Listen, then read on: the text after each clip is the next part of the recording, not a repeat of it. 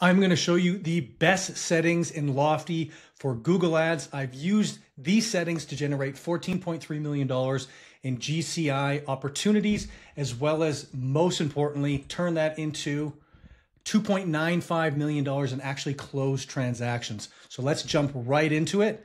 Number one is the domain name that you use for your website.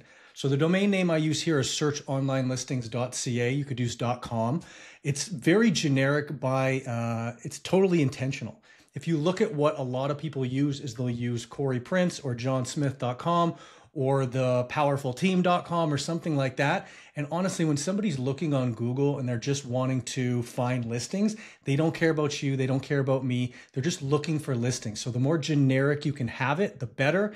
And I totally get it. If you want to use something that's like branded on your team name or something like that, my first real estate website was koryprince.ca and koryprince.com, which is my first and last name. So I get it. I'm just saying from a cost per lead and cost to acquire a customer perspective, this is much more effective and this is much less expensive. So that's point number one.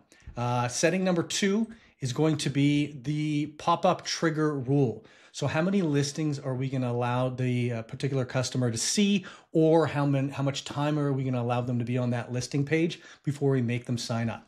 So, I've been doing this for 15 years.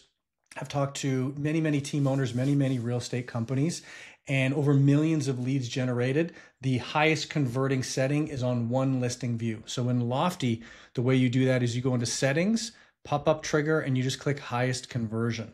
Then what you do is you scroll to where it says questionnaire settings and you turn these off automatically. So you'll see right here, there's a couple different options for a buyer uh, questionnaire and a seller questionnaire what will happen is if you have this on right here, it'll pop up right after registration.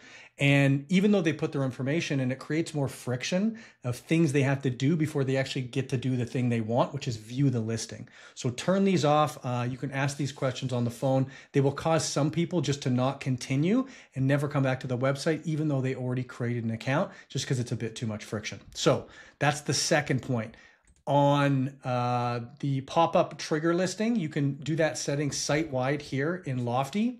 You can also do it on landing pages. So on landing pages, you go into marketing in Lofty, then click landing pages, find the landing page that you want, click action edit right here, or you can create a landing page, of course.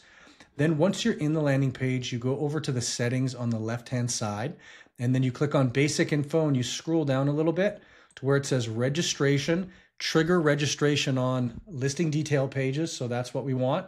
How to trigger is trigger registration based on page views. And then we want one. So this will make it so anybody that registers on this particular landing page will, as soon as they click a listing, they'll have to create an account. This is what you want, I promise you. So the third setting, which is absolutely crucial to get the highest conversion possible, is the disclaimer. So after they click the listing and it pops up and they have to put their information in, there's what we call a disclaimer. If you look at the normal boilerplate disclaimer that pretty much everybody has with Lofty, it says this. By checking this box, I agree by electronic signature to one, the electronic disclosure consent, to receive recurring marketing communication from or on behalf of seller variable, including autodialed calls, text and pre-recorded messages, consent not required to make a purchase, data rates may apply, reply stop to opt out of text or help for help, and three, the terms of service and privacy policy of this website. I understand that I can and then has a phone number implied uh, that'll be uh, merged in there to obtain direct assistance. So this is written by Lofty's lawyers. I've actually communicated with Lofty about this, and they just want to keep it as is. They're not interested in changing it. What it does is it actually reduces the percentage of people that are going to be willing to sign up because it's pretty wordy.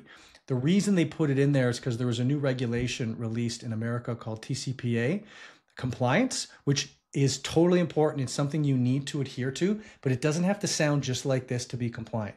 So what I recommend doing is using a disclaimer like this.